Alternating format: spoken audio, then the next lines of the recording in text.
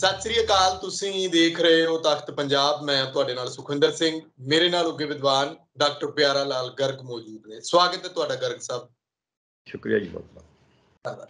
ਗਰਗ ਸਾਹਿਬ ਪਹਿਲਾਂ ਤਾਂ ਆਮ ਆਦਮੀ ਪਾਰਟੀ ਅਰਵਿੰਦ ਕੇਜਰੀਵਾਲ ਖਾਸ ਕਰ ਮੁੱਖ ਮੰਤਰੀ ਭਗਵੰਤ ਸਿੰਘ ਮਾਨ ਜਦੋਂ ਮੁੱਖ ਮੰਤਰੀ ਨਹੀਂ ਸੀ ਉਦੋਂ ਕਹਿੰਦੇ ਸੀ ਕਿ ਮੈਨੂੰ ਪੰਜਾਬ ਦੇ ਕੱਲੇ-ਕੱਲੇ ਦਰਦ ਦਾ ਪਤਾ ਹੈ ਮੈਨੂੰ ਇਹ ਵੀ ਪਤਾ ਹੈ ਕਿ ਪੰਜਾਬ ਕੌਣ ਲੁੱਟ ਕੇ ਖਾ ਰਿਹਾ ਹੈ। ਪੰਜਾਬ ਦੇ ਵਿੱਚ ਕਿਸਾਨਾਂ ਦੀ ਕੀ ਦੁਰਦਸ਼ਾ ਹੋ ਰਹੀ ਹੈ, ਦਲਤਾਂ ਦੀ, ਮਜ਼ਦੂਰਾਂ ਦੀ, ਆਮ ਲੋਕਾਂ ਦੀ, ਇਹ ਸਾਰਾ ਉਹ ਕਹਿੰਦੇ ਸਾਨੂੰ ਰਟਿਆ ਹੋਇਆ, ਸਾਨੂੰ ਸਭ ਪਤਾ ਹੈ, ਜ਼ਮੀਨੀ ਹਕੀਕਤ ਨਾਲ ਜੁੜੇ ਆ। ਸੱਤਾ 'ਚ ਆ ਜਾਣ ਦਿਓ ਤੇ ਉਸ ਤੋਂ ਬਾਅਦ ਦੇਖਿਓ ਕਿ ਰੰਗਲਾ ਪੰਜਾਬ ਕਿੱਦਾਂ ਬਣਾਉਂਦੇ ਆ। ਪਰ ਹੁਣ ਪਿਛਲੇ ਕੁਝ ਦਿਨਾਂ ਤੋਂ ਜਿਹੜੀ ਚਰਚਾ ਚੱਲ ਰਹੀ ਆ ਕਿ ਮੁੱਖ ਮੰਤਰੀ ਸਾਹਿਬ ਨੇ ਇੱਕ ਕਮੇਟੀ ਬਣਾਉਣ ਦਾ ਗਠਨ ਕਰਨ ਦਾ ਜਿਹੜਾ ਮੁੱਖ ਸਕੱਤਰ ਸਾਹਿਬ ਨੇ ਚਿੱਠੀ ਜਾਰੀ ਕੀਤੀ ਹੈ ਉਹਦੇ ਚੇਅਰਮੈਨ ਵੀ ਕਿਸੇ ਨੂੰ ਲਾਇਆ ਜਾਣਾ ਹਾਲਾਂਕਿ ਸਰਕਾਰ ਨੇ ਸਪਸ਼ਟ ਕੀਤਾ ਕਿ ਅਸੀਂ ਕੋਈ ਉਪ ਮੁੱਖ ਮੰਤਰੀ ਦਾ ਰੈਂਕ ਜਾਂ ਫਿਰ ਕੋਈ ਕੈਬਨਿਟ ਦਾ ਰੈਂਕ ਦੇਣ ਦੀ ਗੱਲ ਨਹੀਂ ਕਰ ਰਹੇ ਪਰ ਉਸ ਕਮੇਟੀ ਦਾ ਚੇਅਰਮੈਨ ਕੌਣ ਹੋਏਗਾ? ਕੀ ਹੁਣ ਮੁੱਖ ਮੰਤਰੀ ਸਾਹਿਬ ਨੂੰ ਮਤਲਬ ਕਿ ਸਲਾਹ ਦੀ ਲੋੜ ਕਿਉਂ ਪੈ ਗਈ ਆ ਆਖਰਕਾਰ? ਇਹ ਇਸ ਉੱਤੇ ਬਹੁਤ ਸਾਰੇ ਸਵਾਲ ਉੱਠ ਰਹੇ ਨੇ। ਦੇਖੋ ਸੁਵਿੰਦਰ ਜੀ ਸਾਡੇ ਨਾਲ ਸਵਾਲ ਉਠਾਉਣਾ ਤਾਂ ਜਮਹੂਰੀਅਤ ਦਾ ਇੱਕ ਪਾਰਟ ਹੈ ਇੱਕ ਹਿੱਸਾ ਹੈ। ਪਰ ਜੇ ਸਵਾਲ ਜਾਇਜ਼ ਉਠਾਏ ਜਾਣ ਤਾਂ ਜ਼ਿਆਦਾ ਚੰਗਾ ਹੁੰਦਾ ਹੈ। ਸਵਾਲ ਕੋਈ ਸੂਬੇ ਦੇ ਜਾਂ ਰਾਸ਼ਟਰ ਦੇ ਵਿਕਾਸ ਵਾਸਤੇ ਉਠਾਏ ਜਾਣ। ਹੁਣ ਇਹ ਕੀ ਉਠਾਉਂਦੇ ਨੇ? ਇਹ ਸਵਾਲ ਉਠਾਉਂਦੇ ਮਿਹਨੇ ਦੇਣ ਵਾਸਤੇ। ਜਿੱਦੇ ਪੀਕੇ ਨੂੰ ਮੰਤਰੀ ਦਾ ਕੈਬਨਿਟ ਮੰਤਰੀ ਦਾ ਰੈਂਕ ਦੇ ਕੇ ਲਗਾਇਆ ਗਿਆ ਸੀ ਸਲਾਹਕਾਰ ਉਹ ਵੀ ਚੋਣਾਂ ਵਾਸਤੇ। ਉਹ ਵੀ ਚੋਣਾਂ ਵਾਸਤੇ। ਉਦੋਂ ਤਾਂ ਨਹੀਂ ਇਹਨਾਂ ਨੂੰ ਉਸੇ ਹੀ ਰਾਜਾ ਵਰਿੰਗ ਬੋਲ ਰਹੇ ਨੇ ਹੁਣ ਤੇ ਬਾਜਵਾ ਜੀ ਵੀ ਬੋਲ ਰਹੇ ਨੇ। ਉਹ ਐਕਸਟਰਾ ਕਨਸਟੀਟਿਊਸ਼ਨਲੀ ਸੀ। ਜੇ ਨੂੰ ਐਕਸਟਰਾ ਹਾਲਾਂਕਿ ਐਕਸਟਰਾ ਕਨਸਟੀਟਿਊਸ਼ਨ ਨਹੀਂ ਹੁੰਦਾ। ਸੀਐਮ ਕੋਲ ਅਧਿਕਾਰ ਹੁੰਦਾ ਹੈ ਕਿਸੇ ਵੀ ਮਿਨਿਸਟਰ ਕੋਲ ਅਧਿਕਾਰ ਹੁੰਦਾ ਹੈ ਕਿ ਉਹ ਹੀ ਆਪਦਾ ਓਐਸਡੀ ਲਾਉਣਾ ਇੱਕ ਗੱਲ। ਦੂਜੀ ਗੱਲ ਸਟੇਟ ਗਵਰਨਮੈਂਟ ਕੋਲੇ ਅਧਿਕਾਰ ਹੈ ਕਿ ਉਹ ਜਿਹੜੀ ਮਰਜ਼ੀ ਐਡਵਾਈਜ਼ਰੀ ਕਮੇਟੀ ਬਣਾ ਲੇ। ਔਰ ਉਹਨੂੰ ਪੈਸੇ ਵੀ ਦੇਵੇ। ਇਹਨਾਂ ਤਾਂ ਐਵੇਂ ਡਰਦਿਆਂ ਨੇ ਲਿਖਤਾ ਵੀ ਕੋਈ ਪੈਸਾ ਨਹੀਂ ਦੇਣਾ ਜੀ ਕੋਈ ਪਰਕ ਨਹੀਂ ਦੇਣੇ ਪਰਕ ਨਹੀਂ ਦੇਣਾ ਉਹ ਤੁਰ ਕੇ ਆਇਆ ਕਰਨਗੇ। ਆਫਟਰ ਜੇ ਕੋਈ ਦਿੱਲੀ ਤੋਂ ਆਉਂਦਾ ਹੈ ਜੇ ਕੋਈ ਮਦਰਾਸ ਤੋਂ ਆਉਂਦਾ ਹੈ ਉਹਨੂੰ ਕਿਰਾਇਆ ਨਹੀਂ ਦੇਣਾ।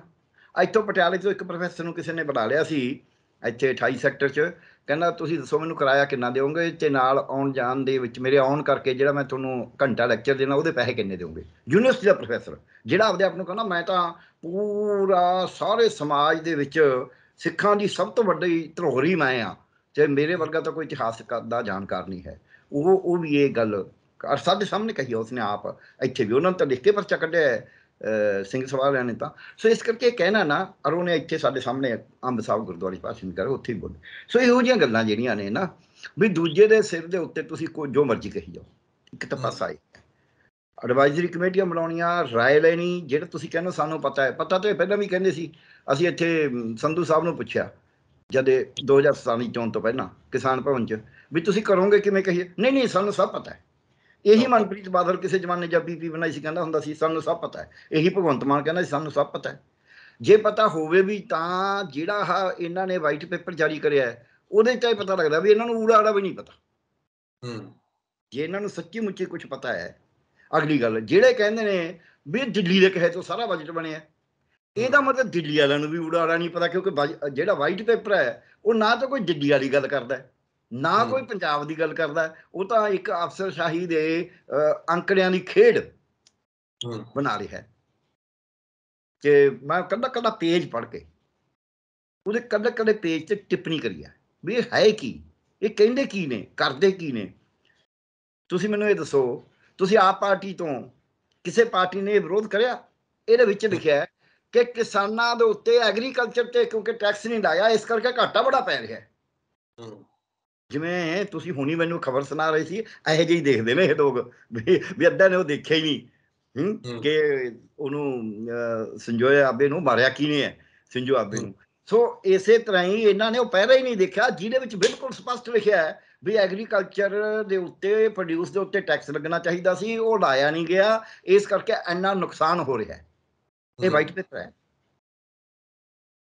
ਇਹਨੂੰ ਆਪ ਵਾਲੇ ਜਸਟੀਫਾਈ ਕਰਦੇ ਨੇ ਇਸ ਪਹਿਰੇ ਨੂੰ ਜਾਂ ਕਾਂਗਰਸ ਵਾਲੇ ਕਰਦੇ ਨੇ ਜਾਂ ਅਕਾਲੀ ਕਰਦੇ ਨੇ ਜਾਂ ਬੀਜੇਪੀ ਕਰਦੇ ਵੀ ਇਹ ਪਹਿਰਾ ਜਾਇਜ਼ ਹੈ। ਕੋਈ ਨਹੀਂ ਵੰਡਿਆ ਗਿਆ ਸਭ ਨੂੰ। ਔਰ ਤਿੰਨੇ ਪਾਸਿਆਂ 'ਚ ਵੰਡਿਆ ਗਿਆ ਹੈ। ਬੀਜੇਪੀ ਵਾਲੇ ਕਹਿ ਨਹੀਂ ਸਕਦੇ ਵੀ ਸਾਨੂੰ ਤਾਂ ਪੰਜਾਬੀ ਹਾਲਾਂਕਿ ਪੰਜਾਬੀ ਹੋਣੀ ਚਾਹੀਦੀ ਹੈ ਵਿਧਾਨ ਸਭਾ 'ਚ ਗਏ ਨੇ ਉਹਨਾਂ ਹਿੰਦੀ 'ਚ ਵੀ ਵੰਡਿਆ ਅੰਗਰੇਜ਼ੀ ਵੀ ਵੰਡਿਆ ਪੰਜਾਬੀ 'ਚ ਵੀ ਵੰਡਿਆ। ਦੇਖ ਲੈਂਦੇ। ਸੋ ਮੈਂ ਤਾਂ ਕਹਿਣਾ ਵੀ ਜਿਹੜੀ ਗੱਲ ਇਹਨਾਂ ਨੇ ਇੱਥੇ ਕੱਢੀ ਕੱਢੀ ਕਹੀ ਹੈ ਇਹ ਗੱਲ ਹੋਰ ਕਹੀ ਹੈ ਵੀ ਲੋਕਾਂ ਨੂੰ ਮੁਫਤ ਖੋਰੇ ਤੇ ਡਾ ਰੱਖਿਆ। ਜਿਹਦੇ ਕਰਕੇ ਖਜ਼ਾਨੇ ਦੇ ਵਿੱਚ ਪੂਰਾ ਉੱਤੋਂ ਥੱਲੇ ਮੁੱਦੇ ਮੂੰਹ ਡਿੱਗ ਪਿਆ ਖਜ਼ਾਨਾ। ਇਹ ਕਹਿੰਦੇ ਨੇ ਇਹ ਵੀ ਇਹ ਮੁਫਤ ਖੋਰੇ ਅਸੀਂ ਨਹੀਂ ਦੇਣੇ ਇਹਨਾਂ ਤਾਂ ਹੋਰ ਵਧਾਤੇ। 300 ਯੂਨਿਟ ਤਾਂ ਨਵੀਂ ਗੱਲ ਹੈ ਨਾ ਤੇ 1000 ਰੁਪਿਆ ਵੀ ਨਵੀਂ ਗੱਲ ਹੈ ਇਹ ਤਾਂ ਮੁਫਤ ਖੋਰੀ ਨਹੀਂ ਬਲਕਿ ਪੈਸੇ ਵੀ ਕਦੋਂ ਦੇਣ ਲੱਗੇ ਵੀ ਹੁਣ ਪੈਸੇ ਵੀ ਦੇਾਂਗੇ ਉਹ ਜੇ ਨਹੀਂ ਸ਼ੁਰੂ ਕਰੇ ਵੱਖਰੀ ਗੱਲ ਹੈ ਸੋ ਇਹ ਕਹਿਣ ਫਿਰ ਵੀ ਇਹ ਤਾਂ ਸਭ ਤੋਂ ਗਲਤ ਲਿਖਿਆ ਗਿਆ। ਇਹ ਵਾਈਟ ਪੇਪਰ 'ਚ ਲਿਖਿਆ ਜਿਹੜਾ ਵਾਈਟ ਪੇਪਰ ਦੱਸਦੇ ਨੇ ਵੀ ਇਸ ਕਰਕੇ ਘਾਟਾ ਪਿਆ ਪੰਜਾਬ ਦੇ ਖਜ਼ਾਨੇ ਨੂੰ। ਦੱਸਣੇ ਇਹ ਜਿਹੜੇ ਸਰਕਾਰ ਦੇ ਆਪਦੇ ਅੰਕੜੇ ਨੇ ਇਸ ਦੇ ਵਿੱਚ ਇਸ ਬਜਟ ਸੈਸ਼ਨ 'ਚ ਜਿਹੜੇ ਵੰਡੇ ਗਏ ਨੇ ਅੰਕੜਾ ਸਾਰ ਜੀ ਉਹਦੇ ਵਿੱਚ ਲਿਖਿਆ ਉਹਦੇ ਸਾਰੇ ਕੈਲਕੂਲੇਸ਼ਨ ਦੇ ਹਿਸਾਬ ਨਾਲ 1 ਲੱਖ 17 18000 ਟੀਚਰ ਆਲਰੇਡੀ ਹੈਗਾ। ਇਹ ਕਹਿੰਦੇ ਅਸੀਂ 600 ਹੋਰ ਭਰਤੀ ਕਰਨਾ। ਬੱਚੇ ਜੋ ਉਹਦੇ ਵਿੱਚ ਲਿਖੇ ਨੇ ਹਾਲਾਂਕਿ ਉਹ ਆਂਗਣਵਾੜੀ ਵਾਲੇ ਵਿੱਚ 3 ਲੱਖ ਪਾਇਆ ਹੋਇਆ ਤਾਂ ਵੀ 12.5 ਲੱਖ ਬੱਚਾ ਪ੍ਰਾਇਮਰੀ 'ਚ ਤੇ ਪਹਿਲਾਂ ਹੀ 43000 ਟੀਚਰ ਹੈਗਾ। ਇਹ ਕਹਿੰਦੇ ਅਸੀਂ 6000 ਹੋਰ ਭਰਤੀ ਕਰਨਾ ਉਸੇ 'ਚ ਹੀ, ਉਸੇ ਕਿਤਾਬ 'ਚ ਜਿਹੜੀ ਕਿਤਾਬ ਉੱਥੇ ਵੰਡੀ ਗਈ ਆ ਕਿਸੇ ਨੇ ਨਹੀਂ ਇਹ ਗੱਲ ਕਰੀ। ਕਿਸੇ ਨੇ ਇਹ ਗੱਲ ਨਹੀਂ ਕਰੀ ਉਹਦੇ ਵਿੱਚ ਲਿਖਿਆ ਵੀ ਆਪਾਂ ਸਾਡਾ ਜਿਹੜਾ ਪ੍ਰਤੀਬੱਧ ਖਰਚਾ ਹੈ ਜਿਹੜਾ ਸਾਨੂੰ ਦੇਣਾ ਹੀ ਪੈਣਾ ਜ਼ਿੰਮੇਵਾਰੀ ਨਾਲ ਲਿਆ ਹੋਇਆ ਜਿਹਦਾ ਅਸੀਂ ਵਾਅਦਾ ਕਰਿਆ ਉਹ ਖਰਚਾ ਜਿਹੜਾ ਹੈਗਾ ਉਹ ਅਹ, 60% ਤੋਂ ਉੱਪਰ ਵਧੀ ਜਾ ਰਿਹਾ ਹੈ। ਤਿੰਨ ਚੀਜ਼ਾਂ ਨੇ ਉਹਦੇ ਚ 58% ਹੈ। ਇੱਕ ਪੈਨਸ਼ਨਾਂ ਇੱਕ ਤਨਖਾਹਾਂ ਤੇ ਇੱਕ ਵਿਆਜ। ਉਹ ਜਿਹੜੀਆਂ ਜੇ 2007 ਦਾ ਵੀ ਮੁਕਾਬਲਾ ਕਰੀਏ ਮੈਂ 2007 ਦਾ ਮੁਕਾਬਲਾ ਕਰ ਰਿਹਾ ਸੀ 2007 ਦੇ ਵਿੱਚ ਕਰਜ਼ਾ 51000 ਕਰੋੜ ਸੀ 51500 ਕਰੋੜ। ਤੇ ਅੱਜ ਕਰਜ਼ਾ 263000 ਕਰੋੜ ਹੈ। ਜੀ। ਤੇ ਉਦੋਂ ਜਿੰਨੀਆਂ ਤਨਖਾਹਾਂ ਤੇ ਖਰਚ ਹੁੰਦਾ ਸੀ ਉਦੋਂ 4 ਗੁਣਾ ਖਰਚ ਹੋ ਰਿਹਾ ਹੁਣ। 2011 ਚ ਤੀਕਸ਼ਣ ਕਮੇਟੀ ਬਣੀ ਉਹਨੇ ਉਹੀ ਪੈਸੇ ਵਧਾਤੇ ਲੋਕਾਂ ਦੇ ਡੂਢ ਗੁਣਾ ਤਨਖਾਹ ਕਰਤੀ। ਕੋਈ ਉਹਦਾ ਇਹ ਕਹਿੰਦੇ ਨਾ ਅਸੀਂ ਫੜਨਾ ਵੀ, ਗਲਤੀਆਂ ਕਿਹਨੇ ਕਰੀਆਂ ਨੇ? ਕਿਸੇ ਬਿਊਰੋਕਰੇਟ ਨੂੰ ਤਾਂ ਫੜ ਰਹੇ ਨੇ, ਵੀ ਤੂੰ ਆਹ ਫੈਸਲਾ ਕਿਵੇਂ ਕਰਿਆ ਸੀ? ਤੂੰ ਤਾਂ ਪੈਸੇ ਲਏ ਹੋਣੇ ਨੇ। ਉਹ ਦੱਸ ਦੱਸਦੇ ਨਾ ਜਿਹੜੇ ਉਹ ਪੋਲੀਟੀਸ਼ੀਅਨ ਹੈਡ ਸੀ, ਜਿਹਨੇ ਡੇਢ ਗੁਣਾ ਤਨਖਾਹ ਦਿੱਤੀ ਸਾਰੇ ਮੁਲਾਜ਼ਮਾਂ ਨੂੰ, ਬਿਨਾਂ ਕੋਈ ਸੋਚੇ ਸਮਝੇ, ਬਿਨਾਂ ਕੋਈ ਤਰਕ ਦਿੱਤੇ, ਬਿਨਾਂ ਕੋਈ, ਉਹ- ਉਹ ਐਗਜ਼ਾਮਨ ਕਰੇ, ਜਦ ਕਿ ਕਮਿਸ਼ਨ ਪਹਿਲਾਂ ਹੀ ਐਗਜ਼ਾਮਨ ਕਰ ਚੁੱਕਿਆ ਸੀ ਐਡਾ ਵੱਡਾ।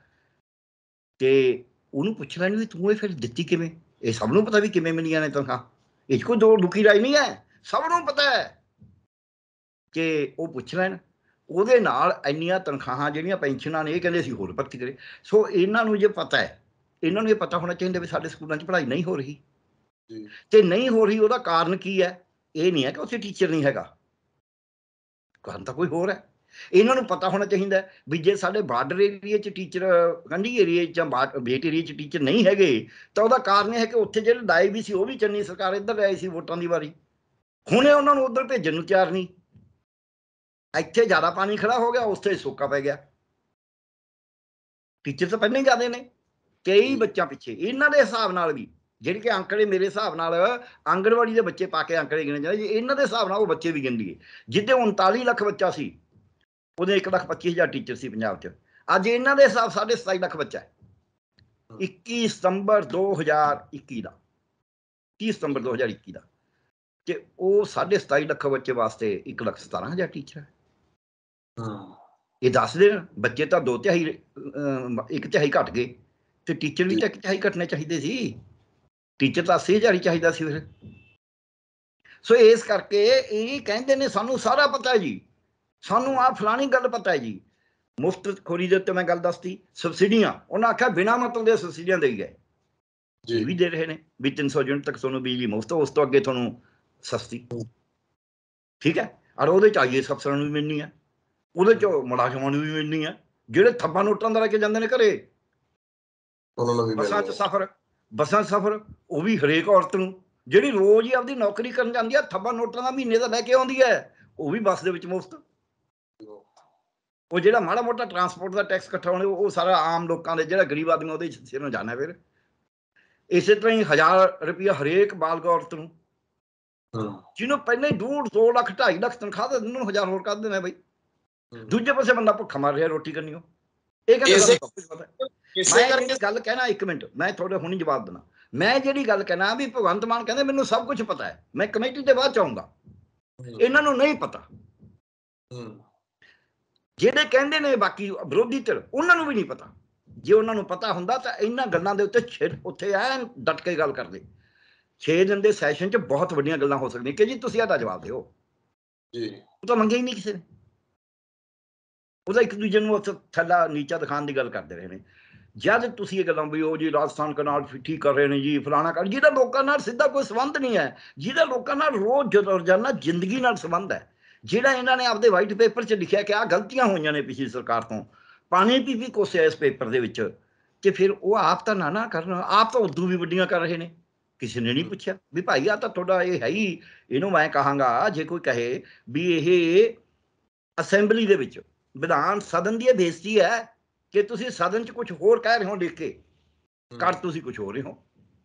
ਇਹ ਸਦਨ 'ਚ ਲਿਖ ਕੇ ਕਿਹਾ ਗਿਆ ਹੈ ਉੱਥੇ ਵੰਡਿਆ ਗਿਆ ਹੈ ਵਾਈਟ ਪੇਪਰ। ਜੀ। ਸੋ ਇਸ ਕਰਕੇ ਸਾਡੇ ਜਿਹੜੇ ਲੋਕ ਇਹ ਕਹਿੰਦੇ ਨੇ ਨਾ ਜਿਹੜੇ ਕ੍ਰਿਟਿਸਾਈਜ਼ ਕਰਦੇ ਨੇ ਹੁਣ ਤੁਸੀਂ ਸਵਾਲ ਕਰੋ ਆਪਦਾ ਮੈਂ ਫਿਰ ਤੁਹਾਨੂੰ ਕਮੇਟੀ ਦੇ ਜਵਾਬ ਦਊਂਗਾ ਜੋ ਵੀ ਹੈ। ਮੈਂ ਉਹਦੇ ਵਿੱਚ ਗੱਲ ਜੋੜਨੀ ਸੀ ਕਿ ਫਿਰ ਇਸੇ ਕਰਕੇ ਸਰਕਾਰ ਨੂੰ ਜਿਹੜਾ ਉਹ ਸਲਾਹਕਾਰ ਕਮੇਟੀ ਬਣਾਉਣੀ ਕਹਿ- ਪੈ ਰਹੀ ਹੈ ਕਿ ਕੋਈ ਚੰਗੀ ਸਲਾਹ ਦੇ ਦੇਣ, ਜਿਹਦੇ ਨਾਲ ਪੰਜਾਬ ਨੂੰ ਜਿਹੜਾ ਹੱਸਦਾ ਵਸਦਾ ਕਰੀਏ। ਸਲਾਹਾਂ ਨਾਲ ਕਦੇ ਕਦੀਆਂ ਨਾਲ ਨਹੀਂ ਸਰਦਾ ਹੁੰਦਾ। ਡਾਕਟਰ ਰੋਜ਼ ਮਰੀਜ਼ਾਂ ਨੂੰ ਸਲਾਹਾਂ ਦਿੰਦੇ ਨੇ ਤੇ ਪਤਾ ਨਹੀਂ ਕਿੰਨੇ ਉਹਨਾਂ ਚੋਂ ਮਰੀਜ਼ ਸਲਾਹ ਮੰਨ ਸਕਦੇ ਨੇ ਜਾਂ ਨਹੀਂ, ਕਿੰਨੇ ਮੰਨਦੇ ਨੇ ਜਾਂ ਨਹੀਂ। ਜਿਹੜੇ ਮੰਨ ਸਕਦੇ ਨੇ ਤੇ ਮੰਨਦੇ ਵੀ ਨੇ, ਕਿੰਨੇ ਕੁ ਉਹਨਾਂ ਚੋਂ ਗਾਹਾਂ ਉਸੇ ਤਰ੍ਹਾਂ ਉਹਨੂੰ ਲਾਗੂ ਕਰ ਸਕਦੇ ਸਲਾਹਾਂ ਦੀ ਲੋੜ ਹੁੰਦੀ ਹੈ। ਪਰ ਜੇ ਅਸੀਂ ਕਹੀਏ ਸਲਾਹਾਂ ਨਾਲ ਸਰਕਾਰਾਂ ਚੱਲ ਜਾਂਦੀਆਂ ਨੇ, ਤਾਂ ਗਲਤ ਹੈ। ਜੇ ਤੁਸੀਂ ਨਿਰਭਰ ਬਗਾਨੀ ਸ਼ਾਹ ਤੇ ਮੁੱਛਾਂ ਮਨਾਓਗੇ ਤੇ ਦੂਜੇ ਸਲਾਹਾਂ 'ਤੇ ਨਿਰਭਰ ਰਹੋਗੇ ਫਿਰ ਇਹ ਤਾਂ ਮੈਂ ਤੁਹਾਨੂੰ ਆਪ ਨੂੰ ਤਾਂ ਕੁਝ ਨਹੀਂ ਪਤਾ। ਉਹ ਤੋਂ ਤੋਂ ਸਾਈ ਸਵੇਦੀ ਜੋ ਮਰਜ਼ੀ ਕਰਾ ਲੇ। ਜੋ ਮਰਜ਼ੀ ਕਹਦੇ ਕਿ ਨਹੀਂ ਜੀ ਇਹਦਾ ਤਾਂ ਮਤਲਬ ਆ ਇਹਦਾ ਤਾਂ ਮਤਲਬ ਆ। ਮੈਂ ਇਹ ਗੱਲ ਤਾਂ ਕਹਿਣਾ ਕਿ ਮੈਂ ਸਰਕਾਰ ਚ ਉਹਨਾਂ ਉਹਦਾਂ ਤੇ ਰਿਹਾ ਜਿੱਥੇ ਇਹੋ ਜਿਹੇ ਸਲਾਹਾਂ ਦੇਣ ਵਾਲੇ ਬਹੁਤ ਹੁੰਦੇ ਸੀ ਸਾਡੇ ਆਲੇ ਦੁਆਲੇ। ਆਫੀਸ਼ੀਅਲੀ ਜਿਵੇਂ ਹਰ ਦਫ਼ਤਰ ਦੇ ਵਿੱਚ ਇੱਕ ਫਾਈਨੈਂਸ ਦਾ ਐਕਸਪਰਟ ਹੁੰਦਾ। ਉਹਨੇ ਵਿੱਤ ਬਾਰੇ ਸਲਾਹ ਦੇਣੀ ਹੁੰਦੀ ਹੈ। ਔਰ ਅਸੀਂ ਫਾਈਲ ਦੇ ਉੱਤੇ ਉਹਦੀ ਲਿਖਤੀ ਸੁਣਨੀ ਹੁੰਦੀ ਹੈ ਮੰਨੀਏ ਨਾ ਮੰਨੀਏ ਸਾਡੀ ਜ਼ਿੰਮੇਵਾਰੀ ਹੈ ਹੁਣ ਜੇ ਸਾਨੂੰ ਆਪ ਨੂੰ ਨਹੀਂ ਪਤਾ, ਉਹ ਜੋ ਮਰਜ਼ੀ ਲਿਖਦੇ, ਅਸੀਂ ਉਹਨੂੰ ਮੰਨਾਂਗੇ ਸਲਾਹ ਤਾਂ ਉਹਨੂੰ ਦਿੱਤੀ। ਉਹਦੀ ਸਲਾਹ ਕੌਣ ਕਹਿੰਦਾ ਵੀ ਜਰੂਰ ਠੀਕ ਹੋਵੇ? ਮੈਂ ਕਿੰਨੇ ਵਾਰੀ ਫਾਈਲਾਂ ਤੇ ਲਿਖਿਆ ਵੀ ਮੇਰਾ ਜਿਹੜਾ ਕਾਨੂੰਨ ਅਫਸਰ ਹੈ, ਇਹਨੂੰ ਕਾਨੂੰਨ ਦੇ ਬਾਰੇ ਅਸਲੀ ਗੱਲ ਨਹੀਂ ਪਤਾ। ਸੱਚੀ ਮੁੱਚੀ ਲਿਖੇ ਹੋਏ ਤੇ। ਜਿਹੜਾ ਮੇਰਾ ਵਿੱਤ ਅਫਸਰ ਹੈ, ਵਿੱਤ ਤੇ ਪ੍ਰਬੰਧਕੀ ਅਫਸਰ, ਇਹਨੂੰ ਵਿੱਤ ਬਾਰੇ ਨਹੀਂ ਪਤਾ। ਜਿਹੜਾ ਮੇਰਾ ਕੰਟਰੋਲਰ ਹੈ, ਇਹਨੂੰ ਇਮਤਿਹਾਨਾਂ ਬਾਰੇ ਉਹਨਾਂ ਗਿਆਨ ਨਹੀਂ ਹੈ। ਅਸਲ ਗੱਲ ਆ ਹੈ, ਬੱਚਿਆਂ ਨੂੰ ਆ ਚਾਹੀਦਾ ਯੂਨੀਵਰਸਿਟੀ ਬੱਚਿਆਂ ਵਾਸਤੇ ਚੱਲਦੀ ਹੈ ਕਿ ਜੇ ਯੂਨੀਵਰਸਿਟੀ ਇਹ ਕੰਮ ਕਰੇਗੀ ਇਹਦੇ 'ਚ ਬੱਚਿਆਂ ਦਾ ਵੀ ਭਲਾ ਹੈ ਪਬਲਿਕ ਦਾ ਵੀ ਭਲਾ ਹੈ ਯੂਨੀਵਰਸਿਟੀ ਨੂੰ ਪੈਸੇ ਵੀ ਵੱਧ ਬਣਨਗੇ, ਕਾਨੂੰਨ ਵੀ ਠੀਕ ਰਹੇਗਾ ਤੇ ਯੂਨੀਵਰਸਿਟੀ ਦੀ ਸ਼ੋਭਾ ਵੀ ਵਧੇਗੀ। ਇਹੋ ਜਿਹੇ ਫੈਸਲੇ ਮੈਂ ਲਏ ਨੇ ਆ ਲਿਖ ਕੇ ਫਾਈਲ ਤੇ। ਉਹਨਾਂ ਨੂੰ ਨਹੀਂ ਕਹਿੰਦਾ ਵੀ ਤੁਸੀਂ ਨਾ ਲਿਖੋ। ਉਹ ਸਲਾਹਕਾਰ ਨੇ ਸਾਰੇ। ਔਰ ਆਫੀਸ਼ੀਅਲੀ ਲੱਗੇ ਹੋਏ ਨੇ, ਜਿਹੜਾ ਕਾਨੂੰਨ ਅਫਸਰ ਹੈ, ਉਹ ਆਫੀਸ਼ੀਅਲੀ ਲੱਗਿਆ ਹੋਇਆ ਹੈ ਕਿ ਕਾਨੂੰਨ ਬਾਰੇ ਮੈਂ ਉਹਦੀ ਐਜ਼ ਰਜਿਸਟਰ ਸਲਾਹ ਲੈਣੀ ਹੈ। ਜਿਹੜਾ ਵਿੱਤ ਅਫਸਰ ਹੈ ਤੇ ਪ੍ਰਬੰਧਕੀ ਅਫਸਰ, ਵਿੱਤ ਤੇ ਪ੍ਰਬੰਧ ਬਾਰੇ ਮੈਂ ਉਹਦੀ ਸਲਾਹ ਲੈਣੀ ਹੈ। ਜਿਹੜਾ ਇਮਤਿਹਾਨ ਦਾ ਕੰਟਰੋਲਰ ਹੈ, ਉਹਦੀ ਮੈਂ ਇਮਤਿਹਾਨਾਂ ਦੇ ਮਾਮਲਿਆਂ ਦੇ ਵਿੱਚ ਸਲਾਹ ਲੈਣੀ ਹੈ। ਇਹ ਮੇਰੀ ਜਿੰਮੇ ਡਿਊਟੀ ਹੈ। ਪਰ ਉਹਨਾਂ ਦੀ ਸਲਾਹ ਤੋਂ ਬਾਅਦ ਫੈਸਲਾ ਮੈਂ ਲੈਣਾ ਉਹ ਫੈਸਲਾ ਕਿਵੇਂ ਲਿਆ ਜਾਂਦਾ ਹੈ? ਔਰ ਅਸੀਂ ਹਾਈ ਕੋਰਟ 'ਚ ਵਿੱਚ ਇੱਕ ਵਾਰੀ ਸਾਨੂੰ ਕਹਿਣਗੇ, ਇਹ ਤਾਂ ਇੱਥੇ ਆ ਲਿਖਿਆ ਸੀ ਫਲਾਣੇ ਤੇ ਸਾਡੇ ਸੈਕਟਰੀ ਸਾਹਿਬ ਨੂੰ ਬੁਲਾਇਆ ਸੀ ਉੱਥੇ। ਉਹਨੇ ਕਿਹਾ ਜੀ ਹਾਂ ਇਹ ਤਾਂ ਸਾਡਾ ਸਿਸਟਮ ਹੈ। ਵੀ ਥੱਲੇ ਵਾਲਾ ਜੋ ਜਿੱਦ ਕਰਦਾ ਲਿਖੇ ਉੱਤੇ ਫੈਸਲਾ ਮੈਂ ਲਿਆ ਮੈਂ ਠੀਕ ਲਿਆ। ਤੇ ਇਹਨਾਂ ਦੀ ਮੈਂ ਪੜ੍ਹ ਲਈ। ਜੇ ਮੈਨੂੰ ਨਹੀਂ ਠੀਕ ਲੱਗੀ ਮੈਂ ਨਹੀਂ ਮੰਨੀ। ਫੈਸਲਾ ਮੈਂ ਲਿਆ ਦਸਤਖਤ ਮੇਰੇ ਨੇ। ਇਹ ਕਹਿਣ ਵਾਲੇ ਬਹੁਤ ਘੱਟ ਹੁੰਦੇ ਨੇ। ਸੋ ਜਿਹੜੇ ਇਹ ਕਹਿੰਦੇ ਵੀ ਸਲਾਹਕਾਰ ਤੋਂ ਬਿਨਾਂ ਨਹੀਂ ਸਲਾਹਕਾਰ ਤੋਂ ਬਿਨਾਂ ਕੌਣ ਕਹਿੰਦਾ ਨਹੀਂ ਕੌਣ ਕਹਿੰਦਾ ਵੀ ਸਰੂ ਸਰੂਗਾ? ਤੁਸੀਂ ਮੈਨੂੰ ਦੱਸੋ ਵੀ ਜਿਹੜੀ ਏਜੀ ਦੀ ਟੀਮ ਹੈ ਉਹ ਕੀ ਹੈ? ਐਡੀ ਵੱਡੀ ਐਡਵੋਕੇਟ ਜਨਰਲ ਦੀ ਉਹ ਕੀ ਹੈ? ਤੁਸੀਂ ਮੈਨੂੰ ਦੱਸੋ ਜਿਹੜਾ ਅਕਾਊਂਟੈਂਟ ਜਨਰਲ ਦੇ ਬੰਦੇ ਫਾਈਨੈਂਸ ਡਿਪਾਰਟਮੈਂਟ ਉਹ ਕੀ ਹੈ। ਸਲਾਹ ਦੇਣ ਵਾਲੇ ਅੰਦਰ ਪਹਿਲਾਂ ਵੀ ਹੈਗੇ ਨੇ। ਆ ਪੁਲਿਸ ਵਾਲੇ ਪੁਲਿਸ ਕੀ ਆ ਪੁਲਿਸ ਸਲਾਹ ਦਿੰਦੀ ਹੈ ਨਾ ਐਂਡ ਆਰਡਰ ਤੇ। ਡਾਕਟਰ ਸਿਹਤ ਦੇ ਬਾਰੇ ਸਲਾਹ ਹੀ ਦਿੰਦੇ ਨੇ ਨਾ। ਵੀ ਐਂ ਨਹੀਂ ਐਂ ਕਰਨਾ ਚਾਹੀਦਾ ਐਦਾਂ ਬਿਮਾਰੀ ਫੈਲ ਗਿਆ ਹੁਣ ਕਰੋਨਾ ਤੇ ਡਾਕਟਰਾਂ ਦੀ ਟੀਮ ਬਣਾਈ ਹੋਈ ਸੀ ਨਾ ਵੀ ਕਿਵੇਂ ਕਰੋਨਾ ਠੀਕ ਕਰਨਾ। ਸੋ ਇਸ ਕਰਕੇ ਸਲਾਹ ਜਿਹੜੀ ਹੈ ਪਹਿਲਾਂ ਹੀ ਜਿਹੜਾ ਸਰਕਾਰ ਚ ਤੰਤਰ ਹੋਵੇ ਉਹ ਤੋਂ ਵੀ ਲਈ ਜਾਂਦੀ ਹੈ। ਜਿਹੜਾ ਉਸ ਤੰਤਰ ਦੇ ਬਾਹਰ ਵੀ ਹੋਣ ਕਿੰਨੀ ਲੋਕ ਹੁੰਦੇ ਸੀ ਪੜ੍ਹਦੇ ਵੀ ਯਾਰ ਅਮਰੀਕਾ ਚ ਆ ਗਿਆ, ਇਹਨੂੰ ਪੜ੍ਹ ਕੇ ਦੇਖ ਲਓ ਵੀ ਕੀ ਕਰਨਾ ਔਰ ਕਿੰਨੇ ਅਸੀਂ ਮਰੀਜ਼ ਦਾ ਇਲਾਜ ਕਰ ਦਿੰਦੇ ਆ ਸੋ ਸਲਾਹ ਲੈਣਾ ਕੋਈ ਗੁਨਾਹ ਨਹੀਂ। ਦੂਜੀ ਗੱਲ, ਸਲਾਹ ਲੈਣਾ ਕਾਨੂੰਨੀ ਹੱਕ ਹੈ। ਤੀਜੀ ਗੱਲ, ਉਸ ਦੇ ਵਿੱਚ ਇਹ ਇਹ ਮਤਲਬ ਦੀ ਉਹੀ ਬਚਾਅ ਚ ਪੈ ਜਾਣਾ ਕਿ ਨਹੀਂ ਜੇ ਅਸੀਂ ਉਹਨਾਂ ਨੂੰ ਕੋਈ ਤਨਖਾਹ ਨਹੀਂ ਦੇਣੀ, ਇਹਦਾ ਮਤਲਬ ਕਿਤੇ ਨਾ ਕਿਤੇ ਗੜਬੜ ਹੈ। ਕਿਉਂ ਨਹੀਂ ਦੇਣੀ ਤਨਖਾਹ ਜੇ ਕੋਈ? ਮੈਂ ਵੱਖਰੀ ਗੱਲ ਹੈ, ਮੈਨੂੰ ਕੱਲ ਕਿਸੇ ਨੇ ਕਿਹਾ ਕਿ ਤੁਸੀਂ ਤਾਂ ਲਈ ਨਹੀਂ। ਮੈਂ ਕਹੋ ਤਾਂ ਮੈਂ ਆਪ ਨਾ ਕਰੀਆ ਕਿ ਮੈਂ ਨਹੀਂ ਤਨਖਾਹ ਲੈਣੀ, ਮੈਂ ਮੁਫਤ ਕੰਮ ਕਰਾਂਗਾ। ਇਹਦਾ ਮਤਲਬ ਇਹ ਥੋੜਾ ਵੀ ਜਿਹੜੇ ਮੇਰੇ ਨਾਲ ਬਾਕੀ ਉਹਨਾਂ 'ਚ ਕੰਮ ਕਰਦੇ ਸੀ, ਜਿਵੇਂ ਇੱਥੇ ਪੜੋ ਪੰਜਾਬ ਦੀ ਸੀ ਕਮੇਟੀ, ਜਿਹੜੇ ਬਾਕੀ ਕੰਮ ਕਰਦੇ ਸੀ ਉਹ ਤਨਖਾਹ ਵੀ ਲੈ ਰਹੇ ਸੀ ਆਪਦੇ, ਜਿਹੜੇ ਪੈਸੇ ਮਿਲਨੇ ਸੀ ਉਹ ਵੀ ਲੈ ਰਹੇ ਸੀ। ਮੈਂ ਡਾਇਰੈਕਟਰ ਰਿਹਾ, ਉਹ ਵੀ ਬਿਨਾਂ ਤਨਖਾਹ ਦੇ ਰਿਹਾ। ਮੈਂ ਜਿੰਨੀਆਂ ਇਨਸਪੈਕਸ਼ਨਾਂ ਹੋਰ ਕਰਦਾ ਸੀ। ਮੈਂ ਨਹੀਂ ਲੈਂਦਾ ਸੀ ਪੈਸੇ ਵੀ, ਨਹੀਂ ਯਾਰ, ਮੈਨੂੰ ਹੁਣ ਲੋੜ ਨਹੀਂ ਹੈ ਪੈਸਿਆਂ ਦੀ। ਮੈਨੂੰ ਇਹ ਲੱਗਦਾ ਸੀ। ਬਾਕੀ ਨੂੰ ਇਹ ਥੋੜਾ ਵੀ ਬਾਕੀ ਨੂੰ ਨਹੀਂ ਮਿਲਣਗੇ। ਮੈਂ ਤਾਂ ਕਦੇ ਟੀਏਡੀ ਵੀ ਨਹੀਂ ਲੈਂਦਾ ਸੀ, ਮੈਂ ਤਾਂ ਆਪਦਾ ਆਪਦੇ ਟੈਕਸੀ ਟੁਕਸੀ ਜਾਣਾ ਤੁਹਾਨੂੰ ਪਤਾ ਮੇਰੇ ਕੋਲ ਗੱਡੀ ਗੁੱਡੀ ਤਾਂ ਹੈ ਨਹੀਂ, ਜਾਂ ਆਟੋ 'ਚ ਬਹਿ ਕੇ ਚਲਾ ਜਾਣਾ ਹੈ। ਜਾਂ ਕਿਸੇ ਤੁਹਾਡੇ ਵਰਗੇ ਨੂੰ ਕਹਿ ਵੀ ਯਾਰ ਉੱਥੇ ਤੱਕ ਛੱਡ ਕੇ ਆ ਮੈਨੂੰ। ਤੇ ਪਰ ਮੈਂ ਤਾਂ ਕੋਈ ਪੈਸਾ ਨਹੀਂ ਲੈਂਦਾ। ਪਰ ਇਹਦਾ ਮਤਲਬ ਇਹ ਨਹੀਂ ਹੈ ਕਿ ਜਿਹੜੇ ਬਾਕੀ ਰਹਿੰਦੇ ਨੇ ਉਹ ਨਜਾਇਜ਼ ਹੋ ਗਿਆ। ਉਹਨਾਂ ਦਾ ਰਾਈਟ ਹੈ। ਕੋਈ ਜਦ ਤੁਸੀਂ ਕਮੇਟੀ ਬਣਾਉਨੇ ਹੋ ਉਹਨੂੰ ਪੈਸੇ ਦੇਣੇ ਉਹਨੇ ਰੋਟੀ ਖਾਣੀ ਹੈ ਉਹਨੇ ਆਉਣਾ ਹੈ ਉਹਨੇ ਕੋਈ ਕਾਗਜ਼ ਲਿਖਣੇ ਨੇ ਉਹਨੇ ਕੋਈ ਕਿਤਾਬ ਦੇਖਣੀ ਹੈ ਉਹ ਕਿੱਥੋਂ ਰਹੇਗਾ? ਨੈਟ ਚਲਾਣਾ ਕੁਝ ਤਾਂ ਕਰੇਗਾ ਨਾ। ਸੋ ਇਸ ਕਰਕੇ ਇਹ ਕੋਈ ਭਲੇਖਾ ਨਹੀਂ ਰੱਖਣਾ ਚਾਹੀਦਾ ਹਾਂ। ਇੱਕ ਗੱਲ ਹੋਰ ਕਮੇਟੀ ਬਾਰੇ ਮੈਂ ਕਹਾਂਗਾ। ਜਿਹੜੀ ਹੈ ਰਾਜਾ ਬੜਿੰਗ ਨੇ ਕਿਹਾ, ਇਹ ਐਕਸਟਰਾ ਕਨਸਟੀਟਿਊਸ਼ਨਲ ਅਥਾਰਟੀ ਹੈ। ਮੈਨੂੰ ਬੜਾ ਅਫਸੋਸ ਹੋਇਆ ਇਹ ਸੁਣ ਕੇ। ਇਹਦਾ ਮਤਲਬ ਜਿਹੜੇ ਕਾਂਗਰਸ ਦੇ ਪ੍ਰਧਾਨ ਨੇ, ਬਾਜਵਾ ਸਾਹਿਬ ਨੇ ਫਿਰ ਠੀਕ ਕਿਹਾ।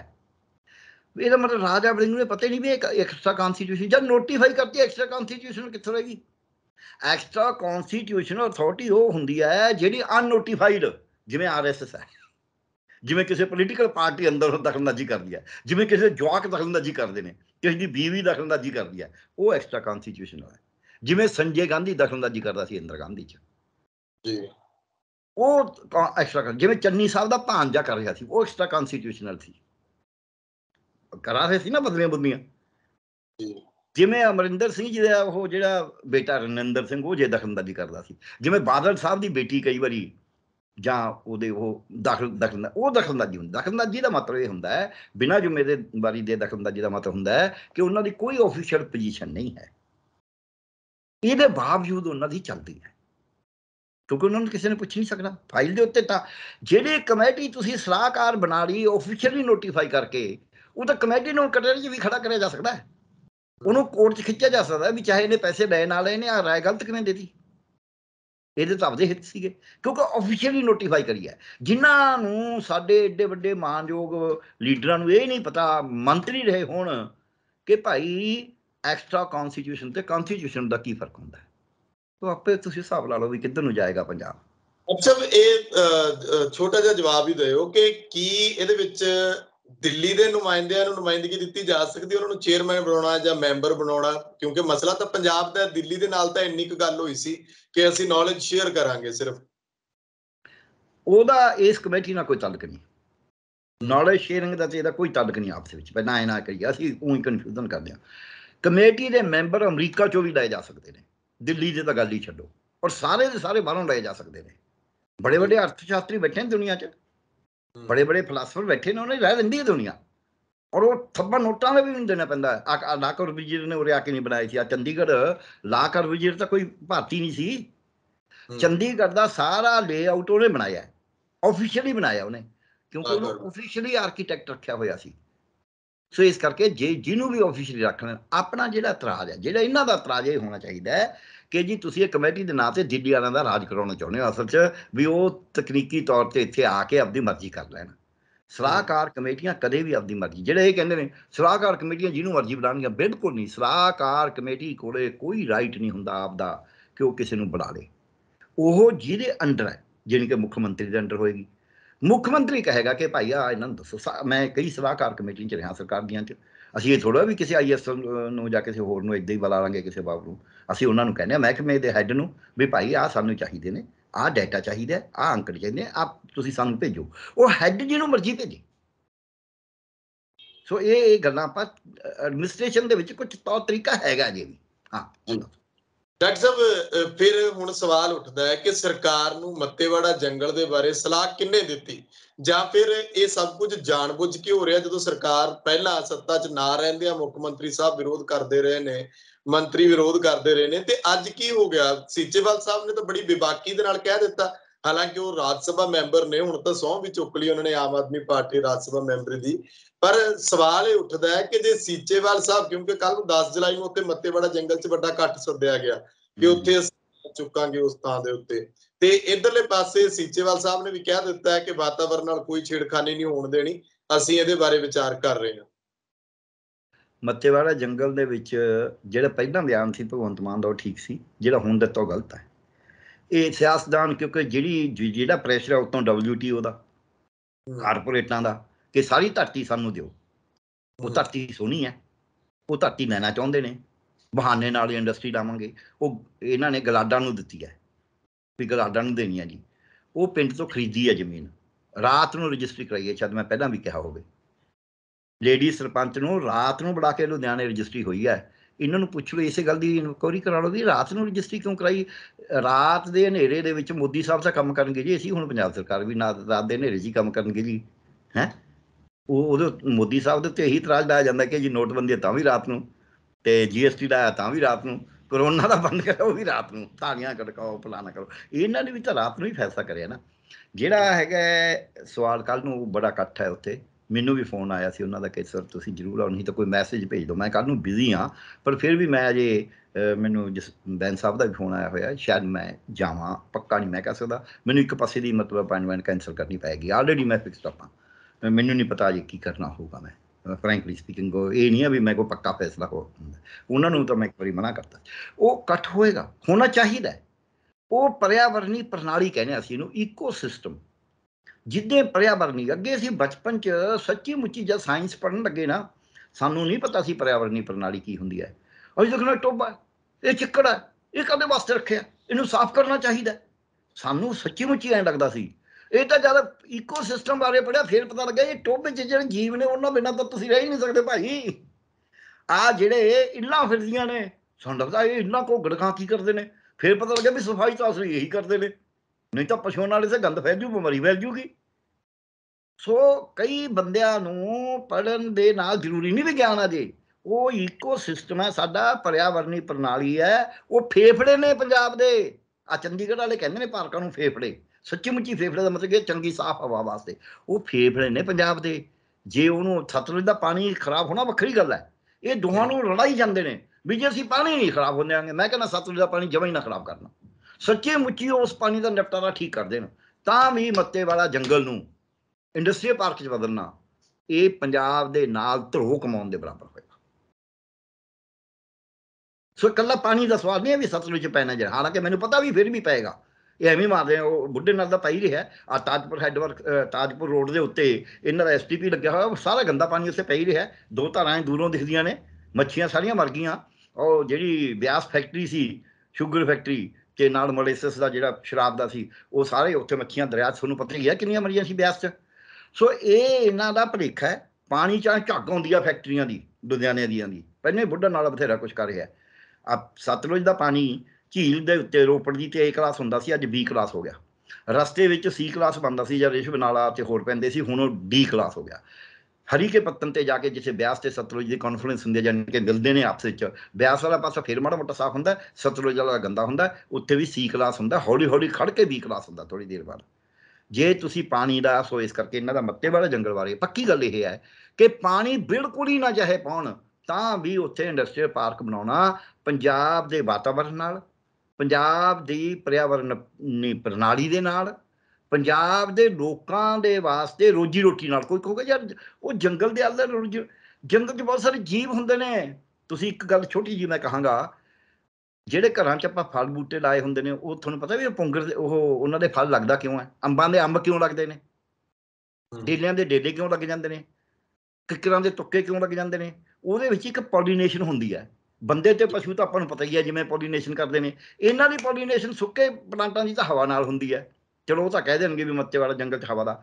ਇੱਕ ਪੋਲੀਨੇਸ਼ਨ ਜੀਵ ਕਰਦੇ ਨੇ। ਆ ਤਿੱਤਲੀਆਂ ਫਿਰਦੀਆਂ ਨੇ, ਸ਼ਹਿਦ ਦੀਆਂ ਮੱਖੀਆਂ ਫਿਰਦੀਆਂ ਨੇ, ਕੋਈ ਹੋਰ ਫਿਰਦੇ ਨੇ ਜਾਨਵਰ ਜਿਹੜੇ ਕਾਲੇ ਕਾਲੇ ਭੌਰੇ ਜਿਹੇ ਹੁੰਦੇ ਨੇ, ਇਹ ਸਾਰੇ ਪ੍ਰਾਗਣ ਕਰਦੇ ਨੇ। ਇਹਨਾਂ ਦੇ ਕਰਕੇ ਉਹ ਸਾਰੀ ਪੈਦਾਵਾਰ ਹੁੰਦੀ ਹੈ। ਹੁਣ ਜੇ ਇੱਕ ਖਿੱਚੇ ਦੇ ਵਿੱਚ, ਪਰਿਆਵਰਨੀ ਪ੍ਰਣਾਲੀ ਦਾ ਮੈਂ ਲਾਸਟ ਗੱਲ ਕਹਿ ਕੇ ਕਰਾਂਗਾ।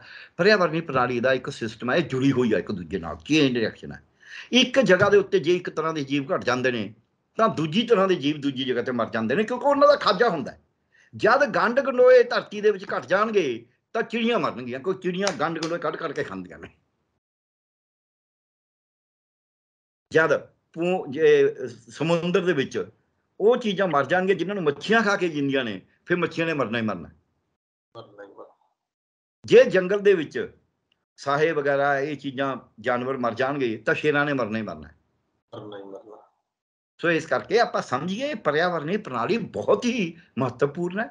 ਇਹਦੀ ਬਹੁਤ ਹੀ ਵੱਡੀ ਮਹੱਤਤਾ ਇਹ ਕੋਈ ਇਕੱਲੀ ਪੋਲੀਟੀਕਲ ਗੱਲ ਨਹੀਂ ਆ ਵੀ ਰੌਲਾ ਪਾ ਰਹੇ ਨੇ ਜੀ, ਇਹ ਪਰਿਆਵਰਨ ਪ੍ਰੇਮੀ ਨੇ ਜੀ, ਤਾਂ ਕਹਿ ਰਹੇ ਨੇ ਜੀ। ਸੀਚੇਵਾਲ ਸਾਹਿਬ ਨੇ ਤਾਂ ਸ਼ਾਇਦ, ਕਿਉਂਕਿ ਉਹਨਾਂ ਨੇ ਸੀਵੇਜ ਦਾ ਬਹੁਤ ਵਧੀਆ ਤਰੀਕਾ ਢੂੰਡਿਆ, ਜੋ ਮਰਜ਼ੀ ਹੋਵੇ, ਸੌ ਮਤਭੇਦ ਹੋ ਸਕਦੇ ਨੇ ਸਾਡੇ ਸੀਚੇਵਾਲ ਸਾਹਿਬ ਨਾਲ, ਪਰ ਉਹ ਠੀਕ ਗੱਲ ਕਰ ਰਹੇ ਨੇ। ਇਹ ਗੱਲ ਸਾਨੂੰ ਕਹਿਣੀ ਚਾਹੀਦੀ ਹੈ।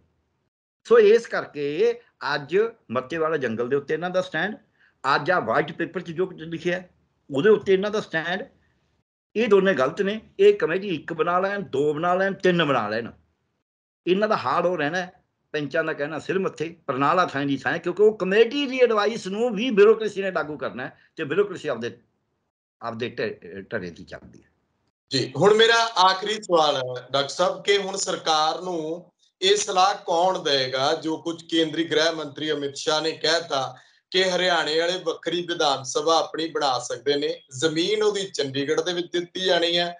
ਉਹਦੇ ਬਾਰੇ ਚਾਰਾ ਜੋ ਸ਼ੁਰੂ ਹੋ ਚੁੱਕੀ ਹੈ। ਹਰਿਆਣੇ ਵਾਲੇ ਬਾਗੋ ਬਾਗ ਹੋ ਗਏ। ਮਨੋਹਰ ਲਾਲ ਖੱਟਰ, ਮੁੱਖ ਮੰਤਰੀ ਸਾਹਿਬ।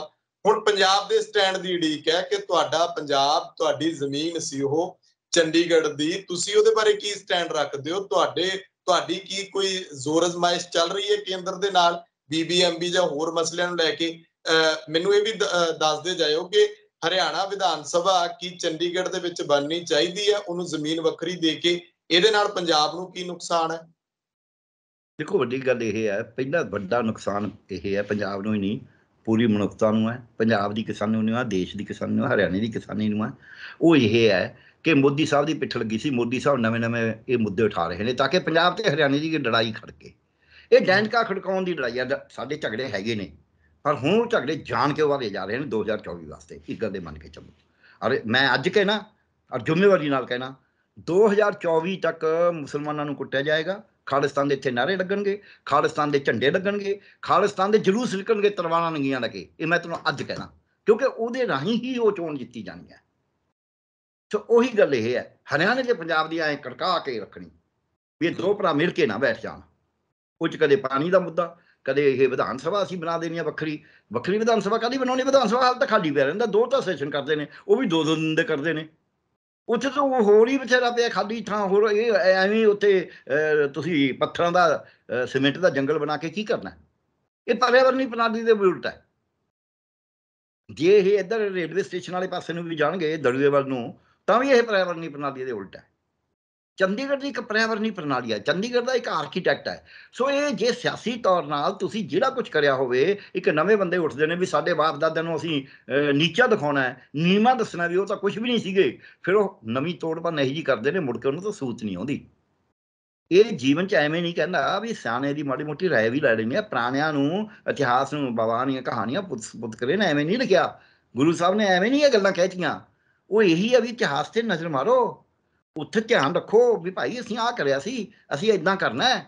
ਤੇ ਜੇ ਤੁਸੀਂ ਉਦਾਂ ਹੀ ਉਹ ਬਗਾਨੀ ਸ਼ਾਹ ਤੇ ਮੁੱਛਾਂ ਮਨਾਈ ਜਾਂਦੇ ਫਿਰ ਮਨਾਈ ਜਾਓ। ਸੋ ਇਸ ਕਰਕੇ ਇਹ ਗਲਤ ਹੈ।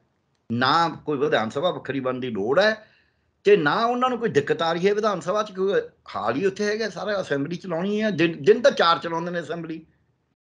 365 ਦਿਨ ਪਏ ਨੇ ਕਿ ਦੋ ਇਜਲਾਸ ਉਹ ਕਰਦੇ ਨੇ, ਦੋ ਉਹ ਕਰਦੇ ਨੇ। ਇਹ ਤਾਂ ਕੋਈ ਖਾਸ ਗੱਲ ਨਹੀਂ, ਹੁਣ ਤਾਂ ਪੰਜ ਪੰਜ ਚਾਰ ਚਾਰ ਦਿਨਾਂ ਦੇ ਇਜਲਾਸ ਕਰਦੇ ਨੇ ਮਸਾਂ ਸੋ ਇਹ ਸਾਰਾ ਜਾਣ ਬੁੱਝ ਕੇ ਇਹ ਸੁਹਣ ਖੜੀ ਕਰੀ ਜਾ ਰਹੀ ਹੈ।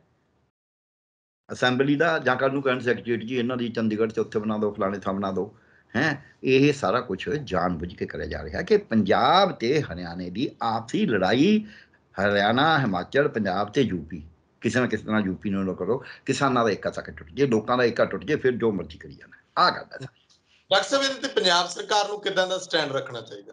ਪੰਜਾਬ ਸਰਕਾਰ ਨੂੰ ਸਟੈਂਡ ਰੱਖਣਾ ਚਾਹੀਦਾ ਵੀ ਚੰਡੀਗੜ੍ਹ ਅਨਡਿਸਾਈਡਡ ਇਸ਼ੂ ਹੈ ਜਿੰਨਾ ਦਾ ਇੱਕ ਦਿਨ ਛੱਡ ਨੂੰ ਸੀ ਉਸ ਤੋਂ ਬਾਅਦ ਤੁਸੀਂ ਬਦਲ ਨਹੀਂ ਸਕਦੇ ਜਿਹੜਾ ਤੁਸੀਂ ਬਦਲਾਅ ਕਰੋਗੇ ਗਲਤ ਹੈ। ਉਹਨੇ ਉਹ ਕਹਿੰਦੇ ਵੀ ਫਿਰ ਅਸੈਂਬਲੀ ਵੱਖਰੀ ਬਣਾਉਣੀ ਆ ਵੀ ਉਹ ਇੱਕ ਗਿਆਰਾਂ ਸ਼ਹਿਰ ਦੇ ਵਿੱਚ ਤੁਸੀਂ ਆਪਣੀ ਮਰਜ਼ੀ ਦੇ ਬਦਲਾਅ ਨਹੀਂ ਕਰ ਸਕਦੇ ਤੁਹਾਨੂੰ ਸਿਰ ਪ੍ਰਬੰਧ ਕਰਾਇਆ ਗਿਆ ਹੈ। ਤੁਸੀਂ ਇਹ ਚੰਡੀਗੜ੍ਹ ਦੀ ਕੰਮ ਤੁਸੀਂ ਕਹਿੰਦੇ ਇਸ ਚੰਡੀਗੜ੍ਹ ਵੇਚਤਾ ਮੰਨ ਲਓ ਅਮਿਤ ਸ਼ਾਹ ਜੀ ਕਿਉਂਕਿ ਚੰਡੀਗੜ੍ਹ ਕੰਟਰੋਲ ਤਾਂ ਉਹੀ ਕਰ ਰਹੇ ਨੇ ਅਮਿਤ ਸ਼ਾਹ ਜੀ ਗ੍ਰਹਿ ਮੰਤਰੀ ਫੈਸਲਾ ਕਰ ਰਹੇ ਨੇ ਵੀ ਅਸੀਂ ਤਾਂ ਇੱਥੇ ਜੀ ਚੰਡੀਗੜ੍ਹ ਵੇਚ ਦੇਣਾ ਕਿਸੇ ਵੱਡੀ ਫਰਮ ਨੂੰ ਵੇਚ ਦੇਣਾ ਹੈ। ਫਿਰ ਸਾਨੂੰ ਵਿਰੋਧ ਹੀ ਕਰਨਾ ਪਊਗਾ। ਕਿਉਂਕਿ ਉਹਨਾਂ ਨੂੰ ਵੇਚਣ ਦਾ ਅਧਿਕਾਰ ਹੀ ਇੱਕ ਪ੍ਰਬੰਧਕ, ਤੁਸੀਂ ਆਪ ਸਿਆਣੇ ਹੋ, ਤੁਸੀਂ ਕਿਸੇ ਨੂੰ ਆਪਦੇ ਆ ਚੈਨਲ ਦਾ ਪ੍ਰਬੰਧਕ ਲਾ ਲਓ ਉਹਨੂੰ ਤੁਹਾਡੇ ਮਾਈਕ ਮੂਕ ਵੇਚਣ ਦਾ ਅਧਿਕਾਰ ਮਿਲ ਜੂਗਾ। ਪ੍ਰਬੰਧਕ ਤਾਂ ਪ੍ਰਬੰਧਕ ਹੈ। ਚੰਡੀਗੜ੍ਹ ਦੀ ਕੇਂਦਰ ਸਰਕਾਰ ਪ੍ਰਬੰਧਕ ਹੈ, ਨਾ ਕਿ ਚੰਡੀਗੜ੍ਹ ਕੇਂਦਰ ਦਾ। ਇਹ ਗੱਲ ਨੂੰ ਸਮਝਣੇ ਤੋਂ ਬਿਨਾ ਸਾਰੀ ਲੜਾਈ ਰਹੇਗੀ। ਸਾਡੇ ਵਾਲੇ ਵੀ ਇਹੀ ਕੁਝ ਕਰਦੇ ਨੇ। ਕੇਂਦਰ ਸਰਕਾਰ ਜਾਣਬੁੱਝ ਕੇ ਇਹੋ ਜਿਹਾ ਕਰਾ ਰਹੀ ਹੈ। ਜਿਹੜੇ ਕੇਂਦਰ ਸਰਕਾਰ ਦੇ ਉਰੇ ਕੋਈ ਚਾਹੇ ਕੋਈ ਨਾਰੇ ਲਾਉਂਦੇ ਨੇ ਗਰਮ ਨਾਰੇ ਉਹ ਵੀ ਇਹੀ ਕੁਝ ਕਹਿੰਦੇ ਨੇ ਵੀ ਉਹਦੀ ਲਾ ਦੋ ਪਾਂ ਚੱਕ ਦੋ ਫੱਟੇ ਫਲਾਣਾ ਕਰ ਦੋ। ਅਸਲ ਦੇ ਵਿੱਚ ਇਹ ਗੱਲ ਦੇ ਉੱਤੇ ਕੋਈ ਨਹੀਂ ਸਟੈਂਡ ਲੈ ਰਿਹਾ ਅਜੇ ਤੱਕ ਮੈਂ ਤਾਂ ਸੁਣਿਆ ਨਹੀਂ। ਵੀ ਭਾਈ ਤੁਸੀਂ ਤਾਂ ਪ੍ਰਬੰਧਕ ਹੋ ਤੁਹਾਨੂੰ ਤਾਂ ਹੱਕ ਹੀ ਨਹੀਂ ਹੈ ਕਰਨ ਦਾ ਕੁਝ ਵੀ। ਤੁਸੀਂ ਆਪਦਾ ਪ੍ਰਬੰਧਕ ਦਾ ਕੰਮ ਕਰੋ ਬਸ। ਡਾਕਟਰ ਸਾਹਿਬ ਇੱਕ ਇੱਕ ਹੋਰ ਮੇਰੇ ਧਿਆਨ ਚ ਆਇਆ ਕਿ ਪਿਛਲੇ ਦਿਨਾਂ ਚ ਇੱਕ ਚਿੱਠੀ ਚੱਲ ਰਹੀ ਸੀ ਮਨੋਹਰ ਲਾਲ ਖੱਟਰ ਹੋਰਾਂ ਦੀ। ਕਹਿੰਦੇ ਮੁੱਖ ਮੰਤਰੀ ਭਗਵੰਤ ਸਿੰਘ ਮਾਨ ਨੇ ਕਿਹਾ ਕਿ ਸਾਨੂੰ ਵੱਖਰੀ ਹਾਈ ਕੋਰਟ ਬਣਾ ਦਿਓ ਨਿਊ ਚੰਡੀਗੜ੍ਹ ਦੇ ਵਿੱਚ। ਦੇਖੋ ਬਹੁਤ ਸਾਰੀਆਂ ਚਿੱਠੀਆਂ ਇਦਾਂ ਦੀਆਂ ਚੱਲਦੀਆਂ ਰਹਿੰਦੀਆਂ ਨੇ ਉਹ ਕਨਫਰਮ ਨਹੀਂ ਹੋਈ ਮੈਂ ਵੀ ਸੁਣਿਆ ਇਹ। ਦੇਖੀ ਨਹੀਂ ਮੈਂ ਉਹ ਚਿੱਠੀ ਖੈਰ ਐਵੇਂ ਕਹਿਣਾ ਮੈਂ ਸੁਣੀ ਆ ਬੜੀ ਚੰਗੀ ਤਰ੍ਹਾਂ ਲੋਕਾਂ ਨੇ ਰੌਲਾ ਪਾਇਆ। ਇਹੋ ਜਿਹਾ ਕੁਝ ਬਹੁਤ ਕੁਝ ਚੱਲਦਾ ਹੁੰਦਾ ਰੋਜ਼ ਹੀ ਆ ਜਾਂਦਾ। ਸੋਸ਼ਲ ਮੀਡੀਆ 'ਚ ਅੱਜ ਜਿਹੜੇ ਆਪ ਵਾਲੇ ਵੀ ਘੱਟ ਨਹੀਂ ਹੈਗੇ। ਬੀਜੇਪੀ ਵੀ ਘੱਟ ਨਹੀਂ ਹੈ ਆਰਐਸਐਸ ਬੀਜੇਪੀ। ਕਾਂਗਰਸੀ ਵੀ ਘੱਟ ਨਹੀਂ। ਕਾਂਗਰਸੀਆਂ ਕੋਲ ਉਹੀ ਉਹੀ ਇਹਨਾਂ ਦੀ ਨਲਕੀ ਹੀ ਇੰਨੀ ਆ ਕਿ ਉਨੀਆਂ ਨਹੀਂ ਪਾ ਸਕਦੇ। ਪਰ ਆਪ ਵਾਲੇ ਤੇ ਬੀਜੇਪੀ ਵਾਲੇ ਤਾਂ ਬਹੁਤ ਤੇਜ਼ ਨੇ, ਕੋਈ ਵੀ ਝੂਠੀ ਚੀਜ਼ ਪਾ ਸਕਦੇ ਨੇ, ਕੋਈ ਵੀ ਸਾਈ ਸਵੇਦੀ ਕਰ ਸਕਦੇ ਨੇ। ਔਰ ਉਹਨੂੰ ਐਨ ਸੱਚ ਬਣਾ ਕੇ ਪੇਸ਼ ਕਰ ਸਕਦੇ ਨੇ। ਇਸ ਕਰਕੇ ਇਹ ਗੱਲਾਂ ਬਹੁਤ ਸਾਰੀ ਹੁੰਦਾ ਆਉਂਦਾ ਨਹੀਂ ਵੀ ਇਹ ਉਹਦੇ ਉੱਤੇ ਕਿ ਜੇ ਅਸੀਂ ਕਨਫਰਮ ਕਰਿਆ, ਇਹ ਝੂਠੀਆ ਖਬਰ। ਆਉਂਦਾ ਨਾ? ਆ ਹੁਣੀ ਪਿੱਛੇ ਪਾਤੀ ਸੀ, ਕਿੰਨੀ ਸੱਚੀ ਹੈ, ਕਿੰਨੀ ਝੂਠੀ ਹੈ, ਵੱਖਰੀ ਗੱਲ ਆ ਜੇ ਵੀ। ਕੁਝ ਸ਼ੰਕੇ ਹੈਗੇ ਨੇ। ਵੀ ਡੀਆਈਜੀ ਵੀ ਨਾਲ ਅਰੈਸਟ ਕਰਿਆ ਫਰੀਦਕੋਟ ਹਾਂ। ਬਹੁਤ। ਠੀਕ ਹੈ? ਉਹ ਖਬਰ ਐਡੀ ਚੱਲੀ ਫੋਟੋਆਂ ਲੱਗੀਆਂ ਹੋਈਆਂ ਨੇ। ਪਿੱਛੋਂ ਗਰਵਜਾਦ ਨੇ ਕਿਹਾ ਵੀ ਅਸੀਂ ਤਾਂ ਕਰਿਆ ਹੀ ਨਹੀਂ। ਉਹ ਤਾਂ ਕੱਲਾ ਸੀ ਡੀਐਸਪੀ ਕਰਿਆ। ਸੋ ਇਹ ਜਿਹੜੀ ਗੱਲ ਸੀ ਉਹ ਕਿੰਨੀ ਚੱਲੀ ਸੀ? ਅਗਲੀ ਗੱਲ ਉਹ ਚੱਲਦੀ ਰਹੀ ਇਹ ਤਾਂ ਨਹੀਂ ਵੀ ਪੁਲਿਸ ਨੂੰ ਪਤਾ ਨਹੀਂ ਲੱਗੂ ਜੇ ਉਹਨਾਂ ਦੇ ਡੀਆਈਜੀ ਬਾਰੇ ਖਬਰ ਚੱਲ ਰਹੀ ਹੈ ਜਾਂ ਉਹਨੂੰ ਡੀਆਈਜੀ ਨੂੰ ਨਾ ਪਤਾ ਲੱਗੂ। ਉਹਨਾਂ ਨੇ ਕਾਊਂਟਰ ਵੀ ਨਹੀਂ ਕਰੀ ਦੋ ਦਿਨ। ਬਾਅਦ ਚ ਆ ਕੇ ਕਾਊਂਟਰ ਕਰੀ ਹੈ ਇਹਦਾ ਮਤਲਬ ਇਹ ਹੈ ਵੀ ਵਿੱਚ ਕੋਈ ਨਾ ਕੋਈ ਦਾਲ ਚ ਕਾਲਾ ਕਾਲਾ ਹੈਗਾ ਵੀ ਸੀ। ਸ਼ੁਕਰੀਆ ਡਾਕਟਰ ਸਾਹਿਬ ਬਹੁਤ ਧੰਨਵਾਦ ਤੁਹਾਡਾ। ਸ਼ੁਕਰੀਆ।